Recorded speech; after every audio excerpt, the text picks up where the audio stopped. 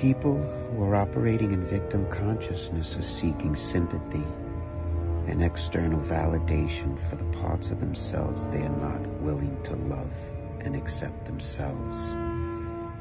Because they are not willing to bring love and acceptance into the fold of their own lives, they choose to position themselves as victims, to rationalize the hurt and the trauma they are not dealing with.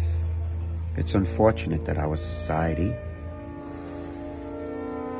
has been set up to reward such a disempowering orientation, especially when the external validation our victim stories beget does nothing to quell the pain we are attempting to mask.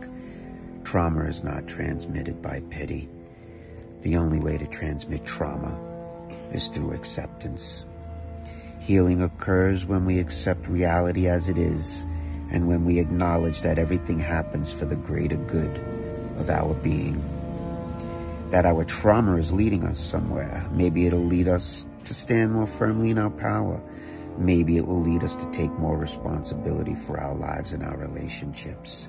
Maybe it will lead us to communicate more clearly and more compassionately. It could mean a multiple of things. Point is, get out of victim consciousness mode.